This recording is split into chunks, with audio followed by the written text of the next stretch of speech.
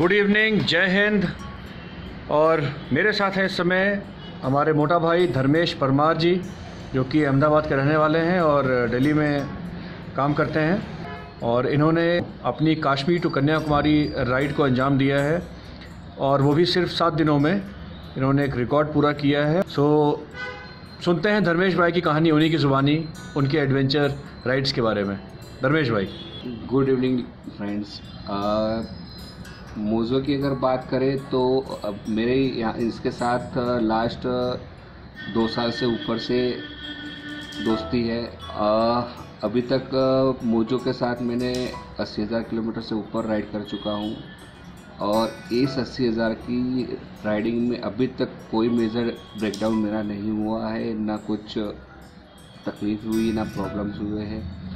Rides की बात करूँ तो हमने कश्मीर टू कन्याकुमारी 16 सितंबर 2018 से स्टार्ट किया था ले से, जो हमें कंप्लीट करनी थी कि भाई बाईस तारीख को एनी हाउ हमें कन्याकुमारी पहुँचना है। जिस पार्ट टू चंडीगढ़ के बीच में, जैसे हमने कॉक्सर क्रॉस किया था और टूवर्ड्स रोहतांग हम चढ़ रहे थे तो मेरा राइट साइड का मोजो का फोर्क जो था वो लीकेज हो गया पूरा ऑयल सील लीकेज टूट इस कंडीशन में भी मैंने उसको चलाता रहा ऑफ़ रोडिंग करता रहा। ऑफ़ रोडिंग में मेरी स्पीड रहती थी साठ से सत्तर की तकरीबन तकरीबन। हम्म। और बैड पैथोल्स भी बहुत थे मर्ड था स्लस भी था वहाँ पे। फिर भी इसका इंडोरेंस इतना है कि कहीं पे भी रुकी नहीं है और मुझे सेफली उसने वहाँ से भी क्रॉस करा के पूरा मैं दिल्ली तक आया। के टू के मेरा कंप्लीट भी हो चुका है। अब मैं रिटर्न टू होम में बेंगलोर पहुँचा हुआ हूँ।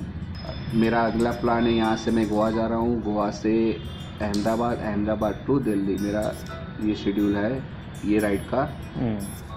Past hmm. की बात करूँ तो महिंद्रा मोजो के साथ मैंने बहुत सारी राइड्स की बहुत सारी यादें जुड़ी हुई है।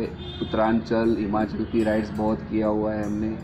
Upper Mustang China border Nepal तक हम जा चुके हैं उससे जिसमें हमने गाड़ी का भी इंड्योरेंस हमें पता चला कि क्या है और हमारा इंड्योरेंस भी हमें पता चला कि हम कहाँ लेवल तक हम अपने आप को खींच सकते हैं हम्म। इसके अलावा भी हमने वो राइड में water crossing up to the seat level हमने किया है जो भी फोर्स इतना था कि अगर हम गलती से खड़े रह गए तो पानी हमें ही खींच के ले जा सकती थी इतना उसका फ्लो था।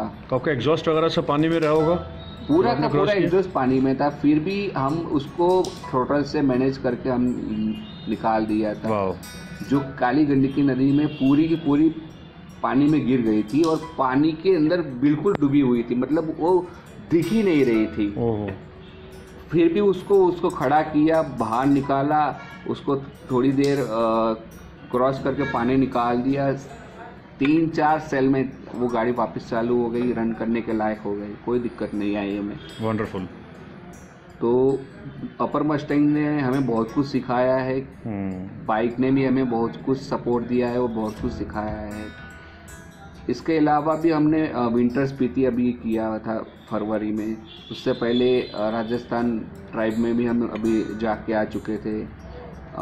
विंटर गंगोत्री भी हमने किया है इसमें। ये लद्दाख मेरी दो महीने में दो बार हुई है। सुपर इसकी बिल क्वालिटी का कोई तोड़ नहीं है। इवन इंजन तो इतना रिफाइंड है कि अभी भी रोरिंग कर रही है कि अभी हम्म। जब भी मैं निकलूँगा वो मेरी स्पीड वही रहती है। 130, 140, 130, 140, 120 और कोई स्ट्रेस नहीं होता इंजन पे पूरे दिन चलाने पर? नहीं लग ही नहीं रहा है कि आप 120 पे जा रहे हो। इतनी स्मूथ चलती है। हम्म।